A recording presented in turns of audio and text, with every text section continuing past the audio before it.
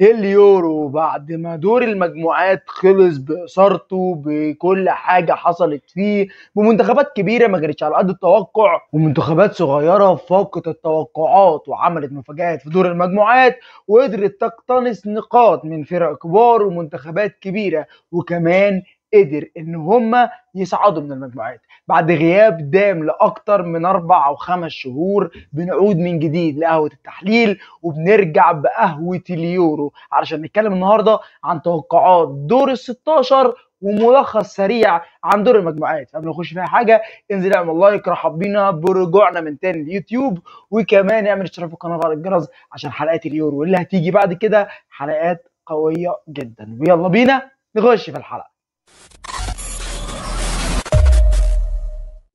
حطني رقم واحد في القصيم أهلا بك يا وجية في أولى حلقات قهوة اليورو. وبعد غياب طويل دي غياب دام لشهور وشهور. وغياب كان ممزوج بفقدان شغف مع شوية حكايات كده في حياته الشخصية. فقررنا ان إحنا ناخد شوية break كده break آه طول شويتين بس ان شاء الله مع رجوعي في اليورو وكمان بداية الموسم الجديد هنعمل حلقات قوية جدا جدا جدا وفي مفاجآت قوية جاية في الطريق. فتعال نتكلم واحدة واحدة عن منتخبات اليورو وعن مباريات دور ال 16 كنت محتار أبدأ بالطريق السهل ولا أبدأ بالطريق الصعب بس خلينا نتكلم في البداية عن الطريق اللي فيه نوعا ما شوية سهولة وبعد كده نختم بأقوى فرق البطولة في المدعكة الناحية الثانية ومن الناحيه السهله شوية تعال نبدأ بمباراة ما بين منتخبين. واحد كان على قدر ال- المسؤولية واللي هو توقعنا فيه إن هو آه فريق قادر على لعب دور المجموعات وقادر على البطولات المجمعة فصعد في. مش في مفاجأة بالنسبة لي. والناحية الثانية إيطاليا صعدت من المجموعات في المركز الثاني بعد أسبانيا بعد تعادل ومباراة صعبة جدا جدا جدا في آخر مباراة. مباراتنا بنتكلم عن سويسرا وإيطاليا. خلينا نتكلم عن الفريقين منفصلين شوية بعد كده نتكلم عن المباراة. المنتخب السويسري آه هو منتخب منظم آه هو منتخب عنده لاعبين قادرين إن هم يشيلوا الفريق ويوصلوا بيه لبعيد في البطولة. ولكن إحنا متعودين على منتخب سويسرا بخبراته إن هو حتى في كأس العالم أو في اليورو هو بيعرف يلعب البطولات المجمعة. هو بيعرف يقتنص النقاط. هو بيعرف يعدي من دور المجموعات. هو بيعرف كمان إن هو يرخم على الفرق كبيرة. شفناه في آخر مباراة في المجموعة ضد ألمانيا كان على بعد شعرات بسيطة وإن هو يفوز في المباراة ويصعد كمركز أول. ولكن رب ضاره نافعة إن هو يصعد كتاني للمجموعة ويقابل نسخة نوعا ما مش مميزة بالقدر الكافي لمنتخب إيطاليا وممكن يحقق مفاجأة ويعدي ويعمل مفاجأة كبيرة في ظل إن هو طريقه ما فيهوش مطبات كتيرة. ولكن أنا وأنت عارفين إن المنتخب السويسري بنسبة كبيرة بيكون اخره آخره يعني دور ال 16 أو خالص بيكون في دور الثمانيه بعد كده بنشوف إن هو ما بيقدرش يكمل للآخر زي منتخب مثلا كرواتيا. تعال نتكلم بقى عن المنتخب الإيطالي. حامل اللقب واللي هو جاي يدافع عن لقبه. المنتخب الإيطالي تحت قيادة سباليتي مع شوية لاعبين جديدة ابرزهم والوحيد أو أو أو من أقل اللاعبين اللي لفت انتباهي في البطولة دي هو كالافيوري. كالافيوري مدافع إيطاليا مدافع مميز جدا وفرق أوروبا كلها بدأت تحط عينيها على اللاعب ده لاعب مميز جدا ولاعب كبير جدا جدا جدا كالافيوري سواء في الدفاع أو حتى على مستوى قطع الكرات وعلى مستوى التمرير للأمام ومستوى كبير جدا من كالافيوري. ولكن المنتخب الإيطالي نوعا ما تحت قيادة سباليتي أنا مش مقتنع. أنا كمصطفى مش مقتنع بالمنتخب الإيطالي. مش ده منتخب إيطاليا اللي كان مع مانشيني وقدر يكتسح أوروبا وياخد اليورو. قدر يقف قدام فرق كبيرة وياخد اليورو. المنتخب الإيطالي النسخة اللي فاتت في اليورو كان مميز جدا كان بيلعب كرة ممتعة كان منظم دفاعيا كان صلب جدا كان صعب جدا إن أنت تنتصر عليه. عكس منتخب إيطاليا تحت قيادة سباليتي منتخب إيطاليا تحت قيادة سباليتي نوعا ما تحس إن سباليتي عنده أفكار كتيرة جدا وأفكار كبيرة جدا إن هو يطبقها في أرض الملعب ولكن ما عندوش العناصر اللي تقدر تطبق الأفكار دي. فبيطلع المنتخب الإيطالي شكله باهت باهت نوعا ما آه باهت نوعا ما ولكن يقدر يعدي عقبة سويسرا آه يقدر يعدي عقبة سويسرا. لو سباليتي حسن من أدائه أو حسن من أفكاره والمنتخب الإيطالي أو لعيبة المنتخب الإيطالي بدأت تخش في فورمة وبدأت تبقى أفضل فرد الملعب لأن كييزا مش في أفضل حالاته وبعض المدافعين وبعض لعيبة نص الملعب مش في أفضل حالاتها. فبالتالي المنتخب الإيطالي آه هو منتخب باهت نوعا ما المنتخب السويسري آه منتخب عليه آه، أمال كبيرة وعليه توقعات كبيرة إن هو يقدر يرخم على طريقه ويعدي منه ولكن من وجهة نظر المنتخب الإيطالي هيعرف يتدارك الموقف ويحقق انتصار مهم على سويسرا ويبتدي إن هو يكمل في البطولة ويوصل دور الثمانيه وسويسرا بتودعنا بمباراة جميلة بتعملها في دور ال 16 زي كل سنة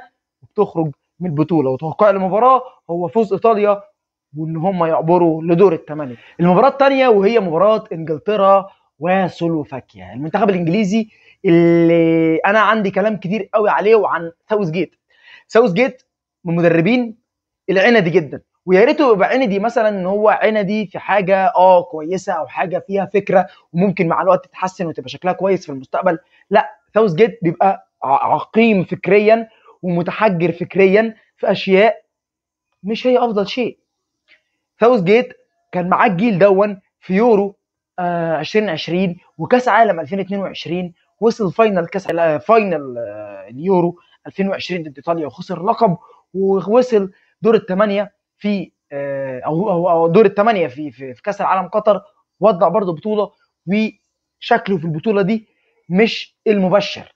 شكله ما يدلش إن أنت آه منتخب ممكن يوصل لبعيد أو منتخب ممكن يحقق اللقب أنت اولا بادئ بتشكيل خاطئ من البداية وإن أنت بتقحم ألكسندر أرنولد في نص الملعب مباشرة من بداية المباراة جنب ديكلان رايس دي يعني آه، خلتك شكلك وحش جدا في أرض الملعب. فرق كتيرة كانت بتستباحك في نص الملعب بسبب إن أنت عندك الثنائيه بتاعت رايس وبتاعت أرنولد. أرنولد مش لاعب 8 أرنولد آه ممكن يعمل لك أدوار مركبة إن هو يبقى ناحية اليمين ويخش قلب الملعب عشان يعمل زيادة عددية في نص الملعب ويعمل زيادة عددية في الثلث الأمامي باللعيبة الثمانيات بتقدم لقدام ويخش جنب وهو يخش جنب لاعب نمرة ستة. ولكن إن أنت تبدأ بيه بداية مباراة وتبدأ بيه عامة في مركز ثمانيه مش هيعمل أي حاجة. فأول مباراة كان في بص كان مش هقول لك بس بيضغطوا عليه من غير ما يضغط عليه كان بيفقد الكورة والدنيا اتسطرت وكسب المباراه المباراة اللي بعدها ضد الدنمارك كانت مباراة صعبة كانت مباراة شرسة. مباراة كانت ممكن المنتخب الإنجليزي يخ- يخرج منها خسران عادي جدا والمنتخب الدنماركي كان غسله في نص الملعب. بهويبيرج وإريكسن وشوية لعيبة كده يعني مرفوفين على على, على في الفريزر. فبالتالي المنتخب الإنجليزي عنده squad كبير جدا عنده تشكيلة قوية جدا عنده عناصر فردية تقيلة جدا ولكن كساوث جيت مدرب ومدير فني عليهم ده هيقتل الجيل ده ومش هيخليه يوصل لبعيد مش هيخليه يوصل إن هو ياخد يورو أو ياخد كأس عالم. تخيل الجيل ده مع بيب جوارديولا أو يورجن كلوب هيعملوا معاهم إيه؟ أضعف الإيمان مع أرتيتا هيعمل بيهم إيه؟ هيعمل بيهم فريق مرعب يخشاه يقابله الجميع. ولكن ساوث جيت مدرب عقيم جدا جدا جدا. الناحيه الثانية سلوفاكيا هو منتخب آه صعد أفضل توالد وصعد بمفاجأة كبيرة وأول مرة يصعد كمان من المجموعات أنا شايف المنتخب الإنجليزي على قد ما هو سيء مش مميز شكله باهت بيكسب بالعافية آه ما عندوش هوية ما عندوش شكل في الثلث الأمامي ما عندوش شكل في الثلث الدفاعي ما عندوش أشكال ما عندوش أفكار. ممكن يعدي من سلوفاكيا. سلوفاكيا مش فريق كبير مش فريق آه يرخم على منتخب إنجليزي. آه ممكن يتعادل يخطف جون مش عارف إيه ولكن في الآخر توقعي إن المنتخب الإنجليزي هيعبر عقبة سلوفاكيا ويوصل لدور الثمانيه عشان يقابل المنتخب الإيطالي. المباراة الثالثه وهي مباراة رومانيا وهولندا.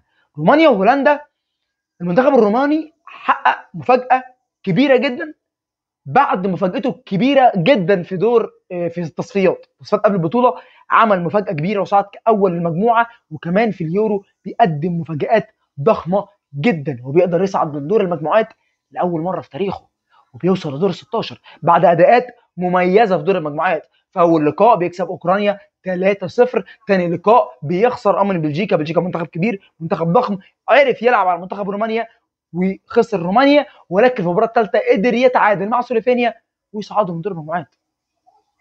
يصعدوا يا باشا من دور المجموعات الاثنين رومانيا وسلوفاكيا ومعاهم ومعاهم بلجيكا. واوكرانيا للاسف بتخرج بأربع نقط. يعني في صفقة تاريخية إن المجموعة دي كلها منتخبات معاهم أربع نقط. كله نفس النقط. وبيصعد فرق ثلاثة بس. والمنتخب الرابع بيخرج في ظل إن هو واخد أربع نقط. ودي أول مرة تحصل تقريبا في تاريخ اليورو عبر التاريخ. يعني مباراة صعبة لرومانيا لأن هولندا أنا أتوقع إن هو هيعدي عقبة رومانيا أو قادر إن هو يعدي عقبة رومانيا. ولكن من وجهة نظر المنتخب ال- الهولندي مش هيوصل لبعيد. مش هيوصل لبعيد لأن الأداءات اللي أنا شفتها منه في دور المجموعات هو وفرنسا في نفس المجموعات ما يدلش إن المنتخبين دول هيقدروا يوصلوا لبعيد في البطولة. المنتخبين آه منتخبين كاسم كبار وممكن يوصلوا لبعيد في البطولة باسمهم وتاريخهم ولكن على مستوى أرض الواقع لا هولندا وفرنسا مش كويسين. خلينا نتكلم دلوقتي على هولندا قبل ما نوصل لفرنسا. المنتخب الهولندي مش كويس تحت. تحت قيادة كومان.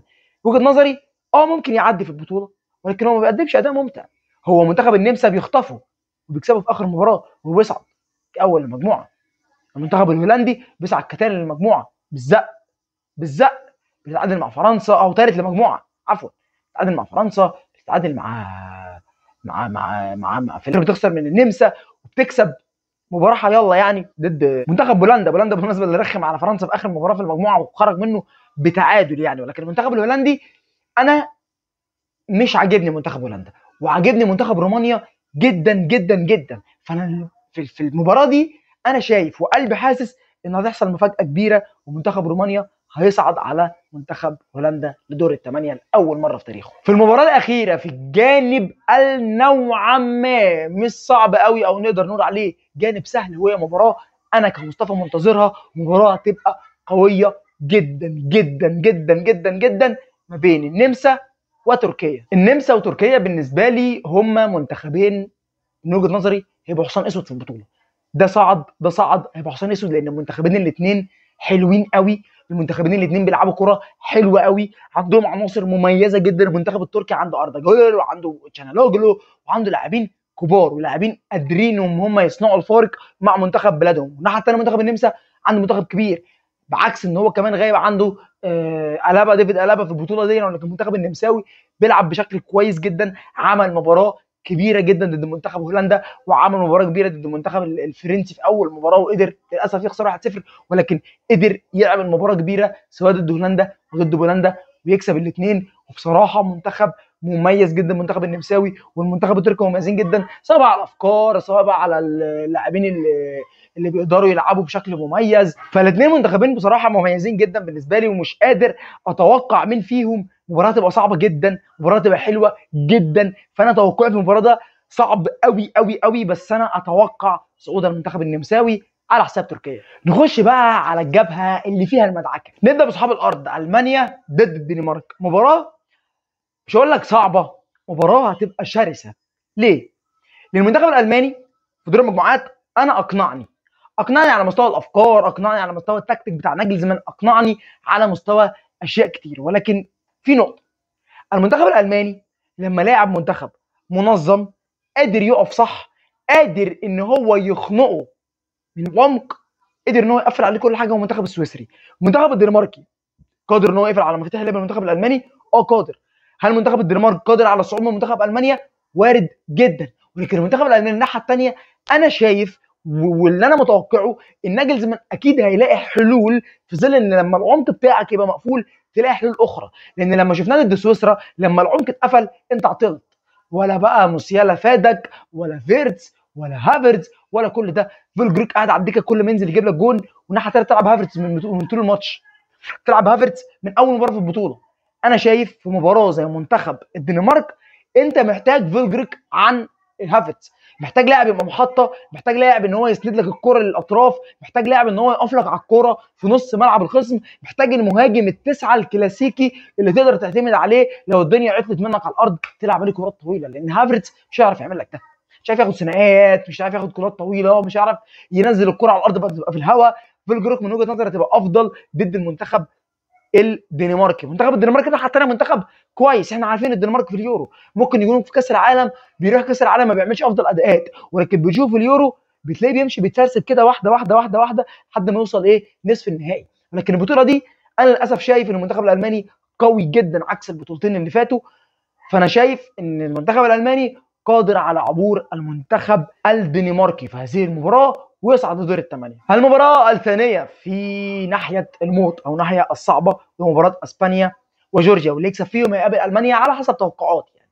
المنتخب الإسباني أنا شايف منتخب إسبانيا أفضل منتخب في البطولة.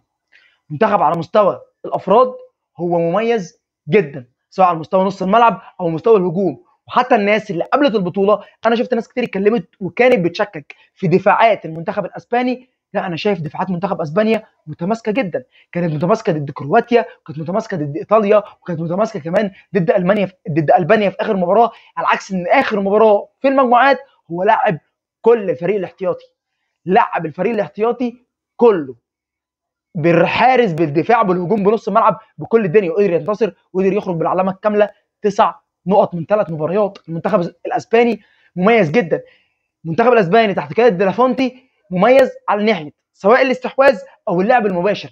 أنا بشوف المنتخب الأسباني لما بيلاقي الدنيا عنده مش كويسة في ناحية الاستحواذ لا أنا عادي جدا هتخلى عن الهوية بتاعتي وعادي هلعب كرات مباشرة وكرات طويلة على الفارو موراتا وإن هو ينزلهم لي ليمين لامال أو نيكو ويليامز وبتلعب على الأطراف وابتدي ادي مساحه ارتجالية سواء للامين يامال أو ويليامز إن هم يروحوا للجون ويروحوا بوشهم ويعملوا ترقصات ويرقصوا ويروحوا للجون ويسددوا. شفنا كذا كورة سواء من يامال أو من ويليامز وقدروا ساعتها يهددوا مرمى الخصوم. فبصراحة شايف المنتخب الأسباني قادر إن هو يوصل لبعيد قوي في البطولة. آه يصطدم بألمانيا وبعد ألمانيا يصطدم بمنتخب سواء بلجيكا بقى أو فرنسا أو البرتغال هيبقى منتخب صعب. بس أنا شايف إن المنتخب الأسباني قوي جدا في البطولة دي. ومنتخب الناحية الثانية منتخب جورجيا منتخب مفاجأة بالنسبة لي. منتخب ما حدش عارف حد غير هو فارتسخيليا لأنه بيلعب في, في, نابولي. ولكن منتخب مفاجأة بالنسبة لي. منتخب يقدر يصعد من المجموعات يقدر يكسب البرتغال في آخر مباراة في المجموعة بيحقق المفاجأة بيعمل ماتشات كبيرة بيعمل ماتش كبير جدا ضد البرتغال بيقدر يقتنص ثلاث نقط مهمين ويصعد من دور المجموعات لأول مرة في تاريخه لأن هو أول مرة أصلا في تاريخه يخش البطولة فلما يخش البطولة يصعد من المجموعات فده إنجاز كبير جدا لجورجيا. وأنا بصراحة شايف إن ده خلاص إنجاز عملتوه وتشكروا عليه ولكن مهمتك هتقف هنا في دور ال 16 المنتخب الأسباني هيقدر يتخطى جورجيا عشان يقابل ألمانيا على حسب توقعاتي المباراه الثالثة وهي مباراة البرتغال وسلوفينيا. فريق صعد كأول المجموعة فريق صعد كثالث المجموعة. سلوفينيا برضو مفاجأة إن هم يصعدوا من دور المجموعات أو صعدوا أحسن توالت وأحسن توالت دي ساعدت بعض الفرق إن هم يصعدوا كأول مرة في تاريخهم زي سلوفاكيا وزي سلوفينيا وزي جورجيا.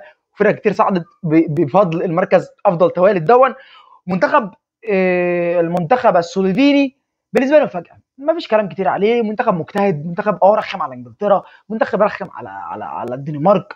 منتخب عمل أداءات كويسة في دور المجموعات وممكن يعمل أداء مميز ضد البرتغال لكن البرتغالي بص أنا شايف منتخب البرتغال مش أفضل شيء تحت قيادة مارتينيز. وشايف إن أنت سانتوس زيه زي مارتينيز. مفيش تخطيط للمستقبل مفيش تخطيط إن أنت تجيب مدرب عنده أفكار حديثة مدرب شاب يقدر يواكب الكرة الحديثة. أنت جبت اثنين مدربين سواء سانتوس أو مارتينيز. الاثنين وجهين لعملة واحدة. سانتوس ضيع جيل مميز جدا من المنتخب البرتغالي خدش بكأس عالم. وانت رحت جبت مارتينيز عشان يضيع الجيل اللي موجود بتاع البرتغال زي ما ضيع الجيل اللي كان بتاع بلجيكا. كلام بقى هازارد وفرتونجن وألدرفيريلد وكورتوا وكل الجيل ده. فانت ده ضيع جيل بلجيكا وده ضيع البرتغال وراح البرتغال راح جاب مارتينيز تاني. يعني راح جاب مارتينيز قصدي من بلجيكا. فليه؟ مش فاهم. طب على أرض الملعب بيقدم شيء؟ لا طبعا. أول مباراه عمل تشكيل كارثي قدام التشيك ونزل كل اللعيبة يلا يا شباب انزلوا العبوا ويلا افرحوا ونزل كل الناس وكل الدنيا. وطبعا كان شكل عشوائي بحت وكان مش عارف يلعب ضد منتخب التشيك واللي هو منتخب على قده جدا. عارف يلعب قدامه كان ممكن التشيك يكسبه كمان ده كسبه في آخر دقايق المباراه بفضل الشاب كونسيساو. المباراه الثانية تكسب ثلاثة تقدم أوراقك تقول ان هنا أنا موجود أنا قوي على منتخب مميز ضد منتخب تركيا. آه بيقدر يفرض عضلاته. والمباراه الأخيرة انت بتخرج خسران من جورجيا. فأنا مش فاهم المنتخب ده قوي جامد جدا زي ما شفناه ضد تركيا. ولا المنتخب دون منتخب متذبذب زي ما شفناه في أول مباراة ضد التشيك وآخر مباراة ضد جورجيا. هل يقدر يعدي سلوفانيا مش عارف. أنت شفت ضد جورجيا؟ خسر. ضد التشيك كسب بطلوع الروح. فعادي ممكن سلوفانيا تفضل ترخم عليك وتتعادل وتتعادل وتتعادل وتجرك لوقت اضافي ضربات جزاء. تخرج من دور 16 في ظل اللي أنت ما عندكش هوية. في ظل انت ما عندكش افكار مميزة في ظل انت عندك مدرب عقيم زي مارتينيز زي ساوث جيت وزي ديدي شامبل جاي له شوية كده. ولكن المنتخب البرتغالي ممكن يمشي لدور الثمانيه بس مش هيكمل لبعيد ولكن أنا شايف المنتخب المنتخب البرتغالي وحش جدا جدا جدا. وآخر بطولات رونالدو مع منتخب البرتغال يبقى هو اللي شايل الفريق وهو القوي وهو اللي بيعمل كل حاجة. دي حاجة كبيرة جدا. المنتخب البرتغالي كمان حظه وحش جدا. من 2006 2006 وهو كل مرة يصعد المجموعات بيخش في طريق صعب جدا تخرج يا إما من دور 16 يا إما من دور 8 يا إما semi final والمرة اللي راح فيها في طريق سهل راح خد البطولة في يورو 2016 المنتخب البرتغالي الله يكون في عونه والله يكون في عون مشجعينه والله يكون في عين الشعب بتاعه. بيبقى مواجهات صعبة جدا على منتخب البرتغال. لكن من وجهة نظري المنتخب البرتغالي قدر يعدي عقبة سلوفينيا يوصل دور الثمانيه وفي دور الثمانيه يشوف هيعمل إيه بقى. آخر مباراة معانا في دور ال 16 وهي مباراة فرنسا وبلجيكا. منتخبين بالنسبة لي وحشين جدا جدا. منتخب فرنسا بيتعادل مع بولندا منتخب سيء جدا. منتخب النمسا كالته 3 1 منتخب سيء جدا. تعادل معاه. لا ده كمان بولندا كمان يكسبك لأن هو كان متقدم. دي حاجة. منتخب بلجيكا تعادل مع أوكرانيا. بيكسب رومانيا بس وبيخسر أول مباراة من من سلوفاكيا. فأنت يا معلم إزاي؟ انت منتخب كبير زي منتخب بلجيكا.